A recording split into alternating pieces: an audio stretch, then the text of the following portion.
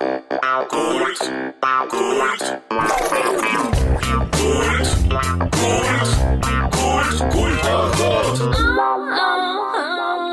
Часов и 16 минут в Кирове. Начинается программа «Культ Поход» чуть позже, но все-таки начинается на традиционной волне 101 и 0 FM. Эм.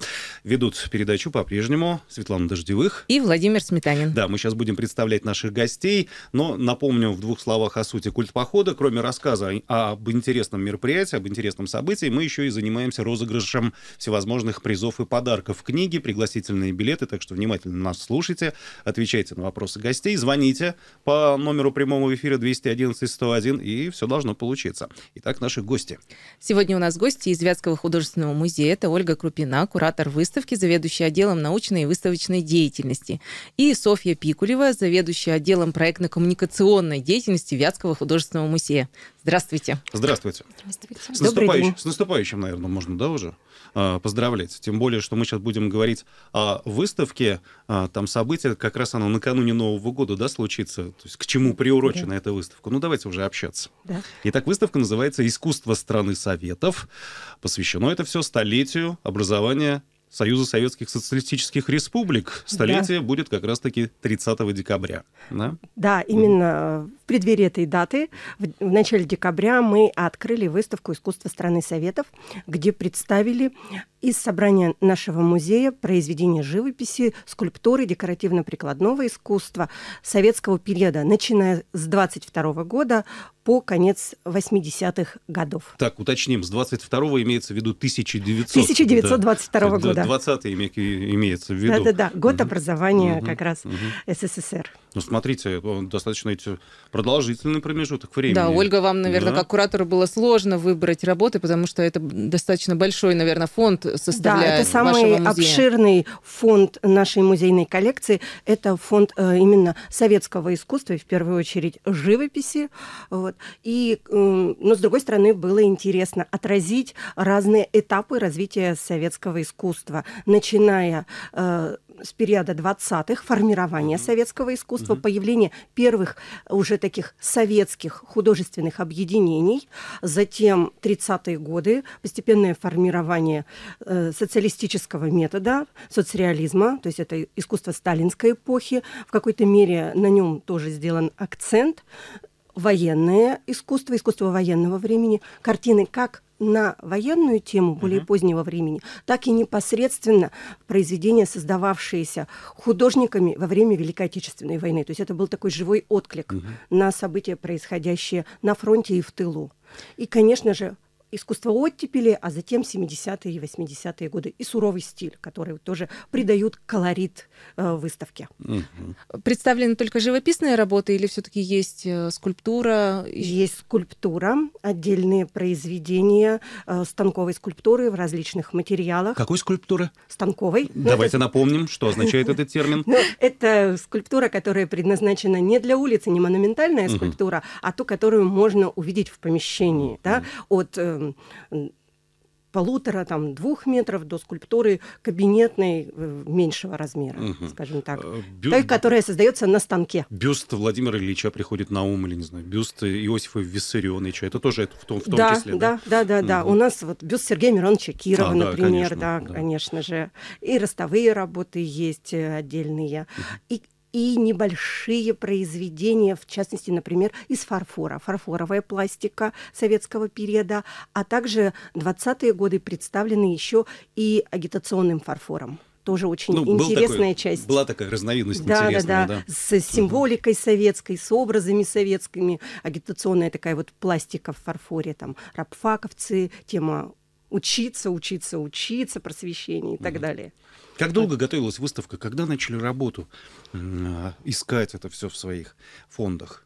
Ну, где-то, наверное, с весны, с весны началась, да, подготовка, когда мы уже точно как бы утвердили, там у нас произошли корректировки в планах, и мы решили, что да, мы события образования СССР отметим, э, покажем свою коллекцию. Мы угу. давно не показывали угу. 20 век из фондов нашего музея. А это была инициатива именно ваша, сотрудников музея, именно вот к да, столетию да, да, конечно, СССР конечно, сделать? да, да, да. Многие ведь, наверное, и не знают про эту дату, да, ну, подумаешь, ну, СССР СССР, было и прошло, ну, сто лет, ну, что такого? А вы зацепились, вы решили вот...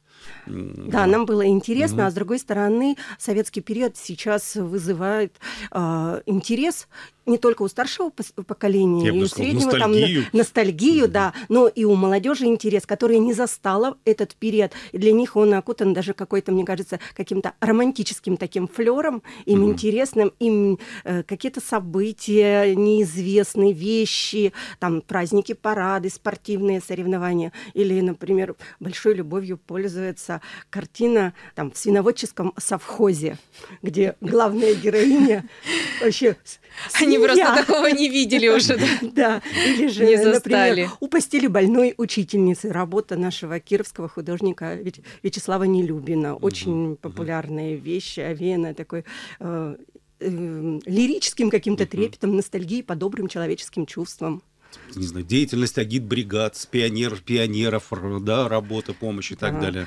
Трудовая угу. тема, строительство, индустриализация, то есть самые разные. Угу. То есть начиная от строек 30-х годов до покорения а, просторов там Сибири, крайнего севера mm. в эпоху сурового стиля, и художники все это отражали. Ну и праздники, конечно же. Вот. И не только, да, не только российское искусство, ну, то есть искусство не только РСФСР, но и разных республик Советского Союза тоже представлен на примере нашей коллекции. Mm. Да, конечно. А как это все попадало к нам сюда? Вот. Из, Вообще... из республик. А, вообще отдел советского искусства начал формироваться в музее официально э, с 1932 года. В 1933-м стали приобретаться произведения в фонды музея э, с различных выставок в первую очередь.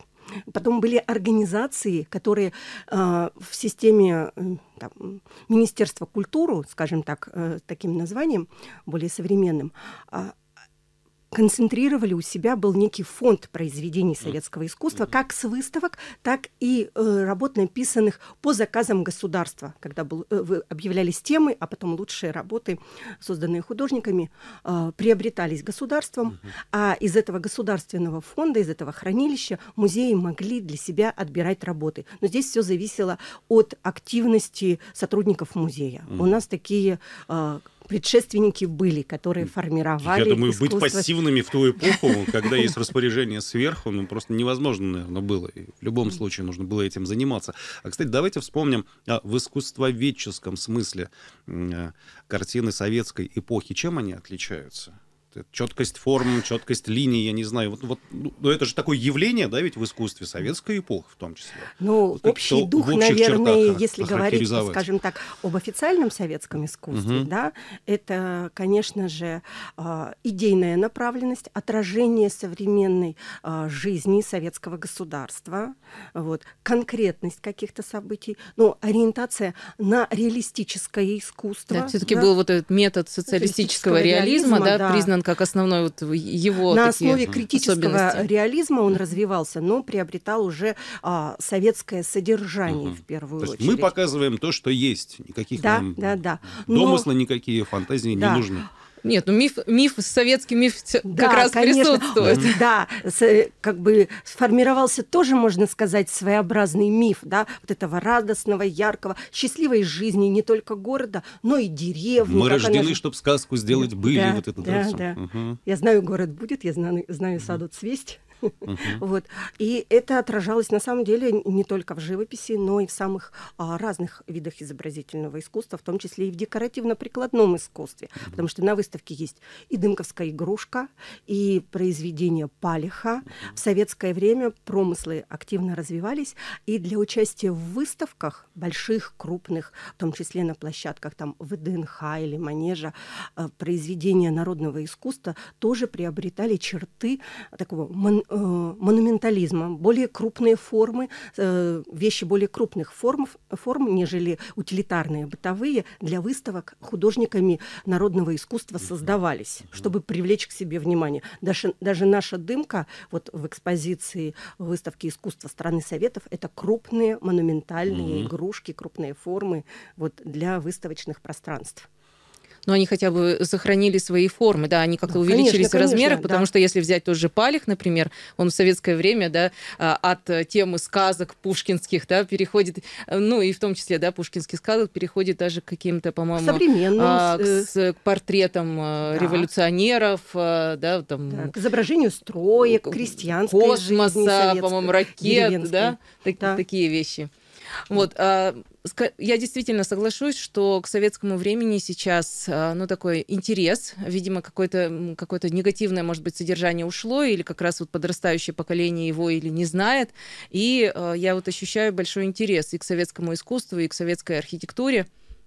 Вот скажите, как у вас будет устроена параллельная программа к выставке? Вот, очень важный момент. Есть еще дополнительная да, программа или параллельная. Угу. Да, к выставке разработана довольно обширная просветительская программа, и э, мы решили охватить ну, практически все. То есть будут и концерты, и поэтические вечера, и э, лекции на разные темы. И основная, скажем так, тенденция нашей программы — это обращение к советской культуре, к советскому искусству. И э, сама программа запустилась буквально вчера. Прошло первое мероприятие. Это была лекция э, в рамках цикла об архитектуре. Мы говорим об этом как о чем-то далеком, непонятном. На самом деле Светлана Дождевых еще и активно участвует да, в этой культурной деятельности. И вот эта э, лекция, которую Софья сейчас упомянула, именно она была представлена Светланой. Да? Ну давайте поподробнее поговорим. Какие да. отзывы были, о чем говорили да, ну, в первую очередь? Да. Спасибо художественному музею, музею за приглашение меня в эту программу параллельную. Да, я знаю, что они решили воссоздать некий такой целостный образ советского, советской культуры, в которую включается не только живопись, скульптура, но также и музыка, и архитектура. Угу. Поэтому здесь я отвечаю за тему, которая связана с архитектурой, советской архитектурой. И э, в рамках параллельной программы мы запланировали три разговора, три лекции. А, одна Они из имеют... них состоялась вчера, накануне. Да, одна из них состоялась вчера. Это вообще был первый, первый разговор в нашем городе об архитектуре 1930-х годов. Mm-hmm. Та архитектура, которую сейчас уже смело называют ар-деко или постконструктивизм, то есть не присоединяя, не смешивая все это в сталинский неоклассицизм или сталинский ампир, а понимая, что вот в 30-е годы была какая-то совершенно уникальная, современная импортная архитектура. А Давайте конкретно да. точки назовем на карте города, да. вот, чтобы картинка возникла у Конечно, ну вообще главный, главный памятник ар-деко в нашем городе это магазин обуви на Ленина. Uh-huh. Он исторически, он и строился как магазин обуви и до сих пор выполняет такую функцию. Uh-huh. Этот магазин был построен в 1938 году Евгением Громаковским, uh-huh. нашим главным архитектором на тот момент. Он же построил еще один пример тоже э, ар-деко, это самый большой жилой дом, который у нас находится на театральной площади. Mm-hmm. То есть э, сбоку от театра, с восточной стороны, большой жилой дом. Это тоже Евгений Громаковский, и в нем также присутствуют черты ар-деко. Mm-hmm. Но на самом деле при подготовке к этому разговору я нашла, мне кажется, самый такой яркий пример ар-деко, но не в нашем городе, а в Кировской области он оказался. А, это кинотеатр «Луч» в городе Советске. Mm-hmm. Да, это э, здание, которое было построено нашим архитектором Никитой Козловым. А, ну, как э, нашим, он к нам приехал из Москвы, так-то он, в общем, оттуда. И... Ну, его жизнь связана и с другими, да, да. известными тоже объектами. Ну, просто большую часть жизни он прожил здесь и является практически застройщиком советского Кирова, 50-е, 60-е годы. Но вот когда он только сюда приехал, его одной из самых первых работ был, было создание вот этого кинотеатра в городе Советске а, в 1938 году. И вот это очень хороший, яркий такой пример а, ар-деко, вот, и вчера мы на него посмотрели, как это все выглядело в проекте. И э, есть еще и очень много других э, зданий, но, может быть, на них есть какие-то элементы, но э, в целом, конечно, так. У нас э, проблема заключалась в том, что у нас упрощали проекты в связи с экономической там какой-то, видимо, ситуацией, и просто это все выглядит не так красиво, как это должно быть. Потому что как ар... это задумывалось, да? Да, потому что арт-деко это все-таки декоративный стиль, и там должно было быть большое количество украшений, декора, скульптур, тур, но вот они часто не просто не выполнялись, да. Как вот. публика восприняла? Вчерашнюю беседу? Поделитесь Живой был отклик, да? очень интересно. В диалог со Светланой вступали наши угу. слушатели. И вообще новизна материала потрясающая. И это нужно на самом деле не только а, слушать, но и видеть, потому угу, что конечно. впервые в публичное пространство были введены а, целый ряд вот, э, архитектурных эскизов, которые представляют знакомые нам здания в их первоначальные, первоначальные задумки, и на самом деле mm-hmm. это должны были быть потрясающие красоты и чистоты стиля, который вот реализовался у нас не в полную силу, но все равно было очень интересно это вчера слышать, и надеюсь, что следующие темы, они а, заявлены тоже как очень интересные, которые а, еще в истории архитектуры советской на, в нашей области не разработаны. В этом плане, конечно же, Светлана Михайловна первопроходится во многом. Угу. Хотя творчество этих архитекторов, оно, естественно, э, было представлено в книгах, в публикациях. Но вот вчера, например, они, многие из них представили, предстали э, для слушателей с новой стороны. Иначе, да. Да, и вообще вот региональный компонент э, и в самой выставке, и в параллельной программе он у нас представлен. То есть в рамках искусства советского периода творчество кировских угу. художников, угу. архитекторов, скульпторов, э, декоративно-прикладного и народного искусства. Ну, я думаю, что и в музыкальной, и в, полити... в поэтической программе ну, тоже этот реги... об этом, региональный да. компонент да, будет. Важно напомнить, мы должны это сделать, что все мероприятия в рамках параллельной программы имеют возрастное ограничение 6+, а возрастное ограничение непосредственно выставки искусства стороны Советов, приуроченной к столетию образования СССР, 0+. Все верно, да? 0+. Так, Дальше. Ну, Чего нас... ждать от Светланы Дождевой а, в качестве не, не только... лектора в рамках этого проекта? Если, если только обо мне говорить, то э, ожидается еще две... Но уже в следующем а, году, да? Да, уже в следующем году, в 23 году, 19 января в 6 часов вечера приглашаю на разговор о, об архитектуре советского модернизма. Это архитектура, которая создавалась а, с 1955 года по 80-й. Тоже довольно-таки большой пласт э, в нашем городе, практически, не знаю, наверное, процентов 8 80 всей архитектуры. Это uh-huh, именно uh-huh. этот период, поэтому разго... разговор о нем очень важен. И абсолютно новая тема. Здесь спасибо Софье, а, которая является, ну так, идейно подтолкнула меня к этому. И я действительно э, подумала, что это абсолютно новая какая-то интересная тема. Это квартирный вопрос. Так. Как менялся квартирный вопрос в советское время. То есть как... обеспеченность жильем, да? А, как нет, скорее как менялось отношение э, чисто та же идеологическое А-а-а. к тому, как должен жить советский гражданин, да, что и как реально должен... выглядело, А-а-а. да, и как это как это выглядело, то есть э, создавались ведь концепции не только города, не только архитектуры, но создавались концепции жилища, то есть как э, должен жить советский человек, чтобы прийти к коммунизму, да, вот прийти к этому коллективизму, и началось ведь с абсолютно утопичных идей домов коммун, uh-huh, когда uh-huh. все должны жить вместе, мальчики а, вместе, там мальчики отдельно, девочки отдельно, с одной комнатой для встреч, а, с единой кухней, с детским, с единым детским садом на первом этаже, то есть все должно быть абсолютно угу. общим, да, и вот а, первое, вот первые там несколько лет 20, 20-х годов э, это реализовывалось, в том числе, скажу, в нашем городе. То есть mm. у нас была, у нас был дом коммуна, ага, да, и и вот как этот эксперимент, собственно, удался, об этом будем говорить, конечно, потом это Сталинки, это коммуналки, да, это вообще особое такое mm-hmm. явление, да, советской культуры, и хрущевка.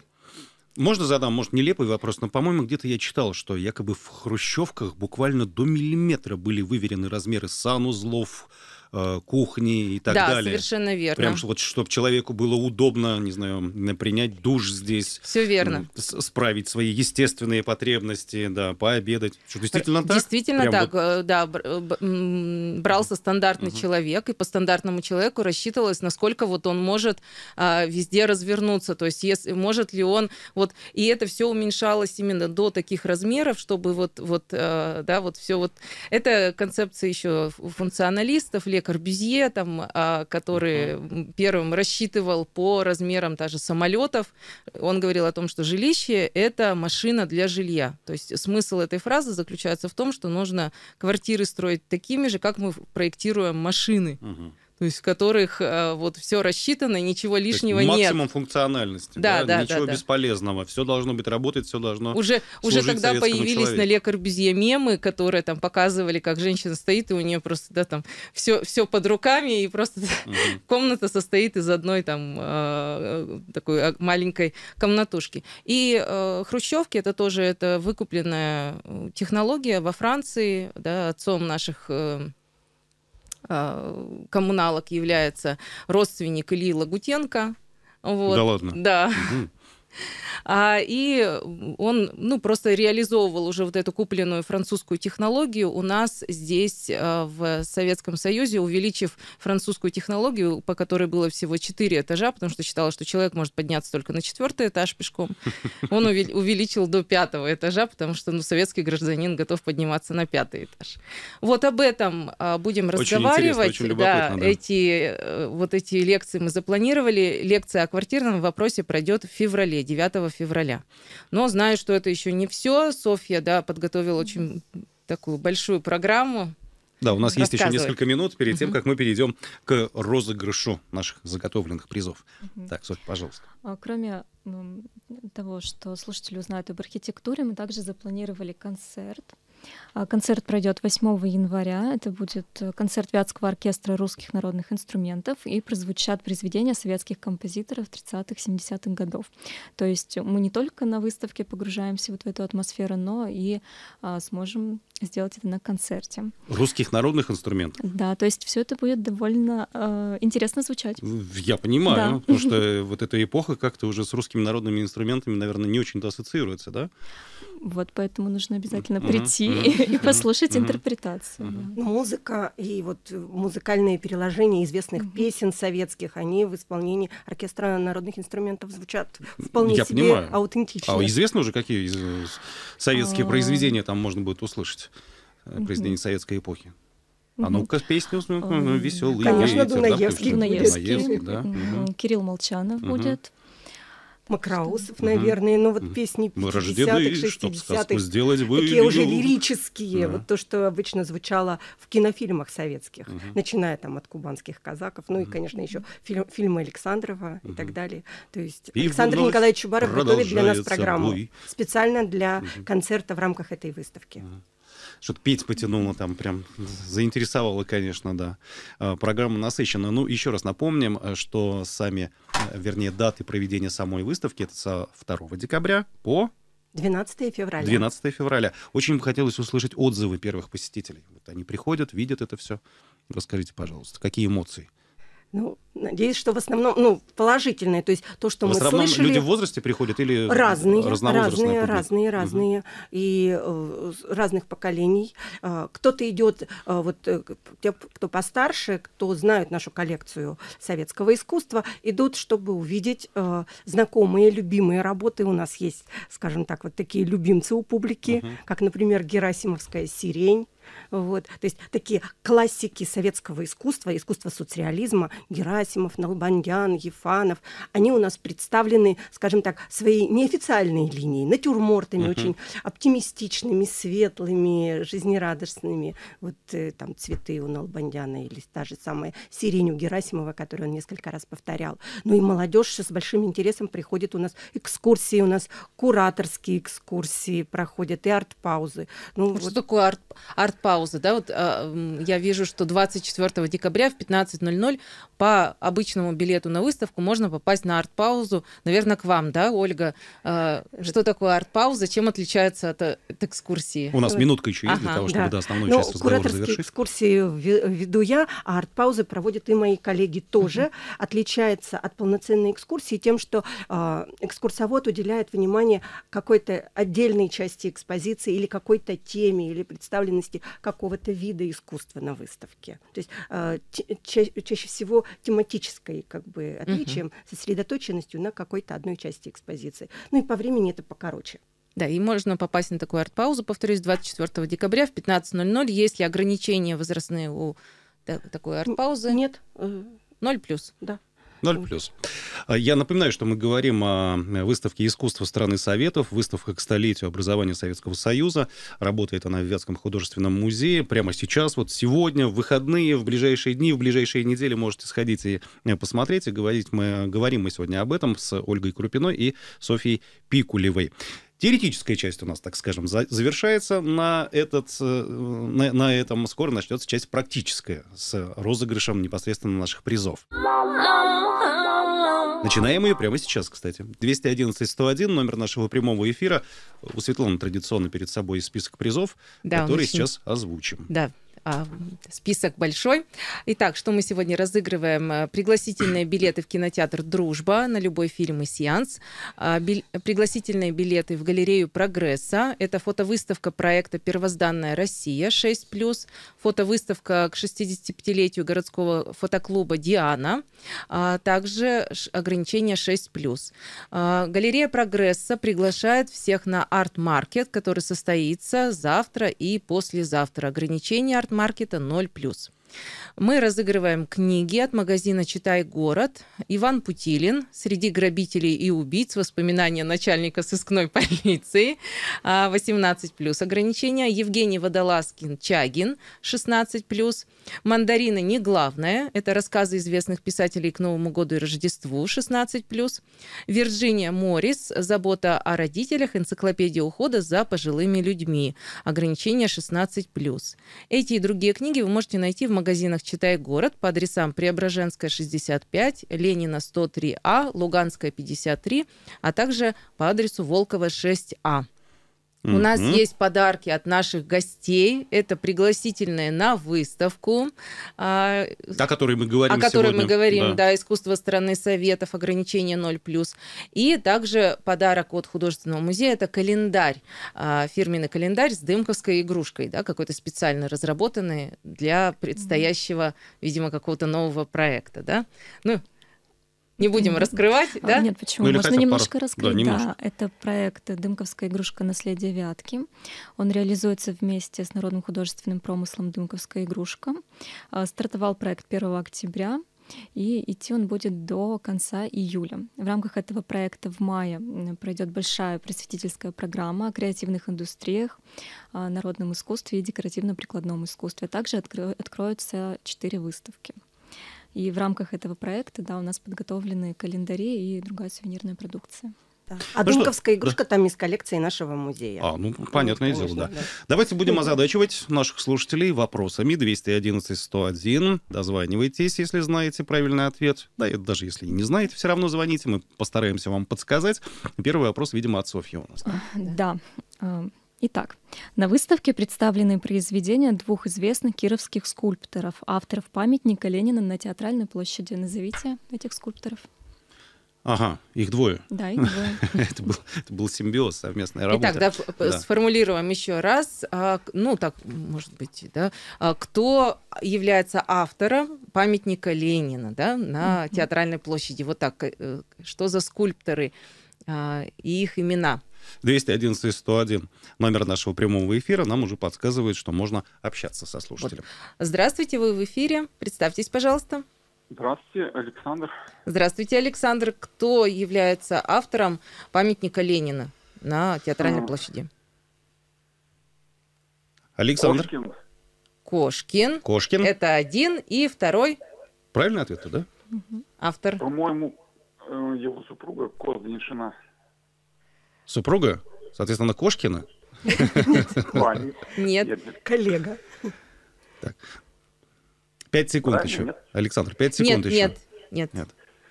Ну, Очень тоже известная фамилия. Целая династия. Первую буковку. Первую буковку? Ш. Ша. Ша. Шпак. Да. Во, точно. Все, точно. Даже у меня как-то уже на, на, начало в голове крутиться, да, что-то в этом направлении. Да. Известная фамилия. Да, Кинофамилия, да, я бы сказал, да. Александр, поздравляем. А, добились все-таки правильного ответа. Кошкин и Шпак. И что вы хотите получить? Календарь. Календарь. Отлично. Как вы представили, Софья, видите, да. сразу вас...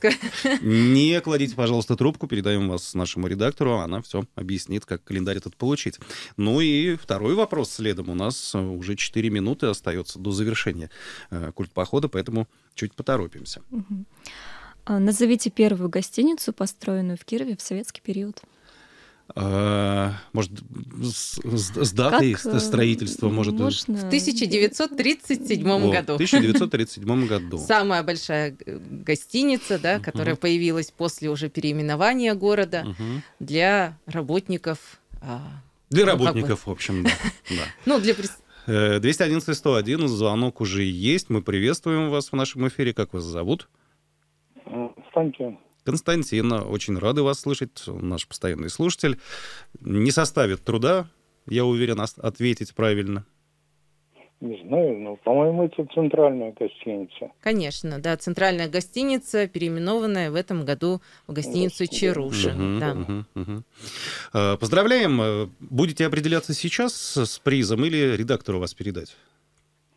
Ну, воспоминания э, начальника сыскного отделения, если можно. А, среди грабителей и убийц. Воспоминания начальника да. сыскной полиции, автор Иван Путилин, 18+. Все, договорились, отлично. Константин, книга ваша, не кладите трубку, нашему редактору вас все-таки передаем. И еще один вопрос, да, заготовлен у наших гостей. Есть у нас еще Ольга, три, три Ольга минуты, будет задавать. Да? Ольга Крупина будет задавать. Да. Назовите... Давайте что-нибудь посложнее, тут как-то сразу отвечаем. Да. У нас, смотрите, три минуты. Мы все-таки хотели не с выставкой, а чтобы люди могли ну, видеть это в публичном, в общественном пространстве. Да, то, что знакомо визуально. Да. Вот. Назовите известные вам монументальные панно, украшающие город Киров. То есть не одно панно? Их много. Да, много. Хотя бы одно. Нет веры. Хотя бы одно. Мне кажется, нет веры просто в наших кировчан. Если, да, если вы назовете два, три или даже больше, а кто-то даже с авторами. Я, нас, я настаивала, чтобы спросили, кто автор панно, угу, но угу. вот решили. Но это уже будет это могут быть мозаики профи, или росписи. Для знатоков. Да. Ну да, вот сейчас начинаешь представлять себе, как выглядит город, и вспоминаются, уже есть у нас. вспоминаются конкретные объекты. Звонок? Да, Светлана, принимайте. Здравствуйте, вы в эфире. Представьтесь, пожалуйста. Здравствуйте, меня зовут Ольга. Ольга, здравствуйте. Замечали ли когда-то на улицах нашего города какие-то панно монументальные, мозаичные или э, скульптурные рельефы? Э, на ДК «Космосе» панно мозаичное. Есть? Да. ДК «Космос» отвечает да. у нас. Э, ДК «Космос» отвечает. Мы просто подсказываем нашим гостям. Это правильный ответ? Ну, хотя бы ДК «Космос». Или это все-таки уже более новая постройка? Нет, это советского времени А, тоже. советского времени? Да, так. здание. Давайте, Ольга, дальше. Еще что-нибудь? Бассейн «Спартак». Бас, бассейн есть, Спартак. Да, да который, есть. к сожалению, да. сейчас вот это да, закрыто, да. закрыто сайдингом. Гостиница, Гостиница Вятка, безусловно. Угу. Аэропорт. Вот. Да. Аврора на солнечной 31. Угу. Ольга, вы прям готовились? Прям ждали этот вопрос, видимо. Вы даже, даже мне кажется, все-таки авторы. Да, давайте мы назовем а, авторов наших известных, кто создавал эти. Э, ну, это я могу просто тут назвать, да, чтобы э, Ильяс Юмагулов, один из э, ведущих, да, у нас э, монументалистов. Да. Ильяс Юмагулов, Галина Юмагулова, Виктор Георгиевич Харлов. И есть внутренние росписи у Инны Алексеевны Широковой э, в здании ГТРК «Вятка», которые сохранили эту роспись угу. во время э, ремонта. Ольга, вы поразили нас своими знаниями. Что хотите получить? Качестве... Художественный музей. Художественный музей. Все, хорошо, замечательно. Еще, пожалуйста, 20 секунд, 30 секунд потратьте времени, пообщайтесь с нашим редактором. Не кладите, пожалуйста, трубку. Минута у нас остается. Давайте подытожим. Да, и вот еще хотелось бы добавить про параллельную программу в связи с монументальными росписями. Эта тема тоже исследуется с современными знатоками, теми, кто любит и изучает наш город. Эта мы... тема вообще забыта уже сейчас. И мы надеемся. Ой, у нас есть тоже исследователь а, монументального искусства в нашем городе и в нашей а, области Мария Русинова, и мы надеемся, что она даст согласие и тоже проведет творческую встречу и представит собранные и изученные ею памятники монументального искусства. Угу. А встречи еще какие-то, возможно, запланированы вот, непосредственно с авторами работ, нет? Или это уже такая задача сложная достаточно? У вас же приезжают э, гости, да, да? расскажите ему. Расскажите, 30 секунд у нас еще есть. Ну, это ну, уже в рамках другой выставки. А, друг, да, друг, да, друг, да, да, другой Это у нас на следующей неделе будет а, открытие новой выставки угу. тоже, где на, на открытие этой выставки приедут ее авторы, московские художники. Это такая творческая группа, и выставка называется «Купе». Художники, которые mm-hmm. начинали свой путь еще вот в 80-е годы, это, они застали советское искусство, но сейчас это уже современные авторы, очень интересные. Mm-hmm. Ну что ж, еще раз всех приглашаем посетить выставку искусства страны Советов к столетию образования Советского Союза в Вятском художественном музее. Возрастное ограничение 0+, возрастное ограничение мероприятий в рамках параллельной программы 6+. Светлана сегодня подробно рассказала о своей работе да, в рамках э, этого проекта. Благодарим наших гостей. Еще раз напоминаем, что это Ольга Крупина, куратор выставки, заведующая отделом научной и выставочной деятельности Вятского художественного музея, и Софья Пикулева, зав. отделом проектно-коммуникативной деятельности нашего музея. Спасибо, удачи. Вам большое спасибо. спасибо. До свидания. Всего доброго. Культ. Культ. Культ. Культ. Культ. Культ. Культ. Культ. Культ.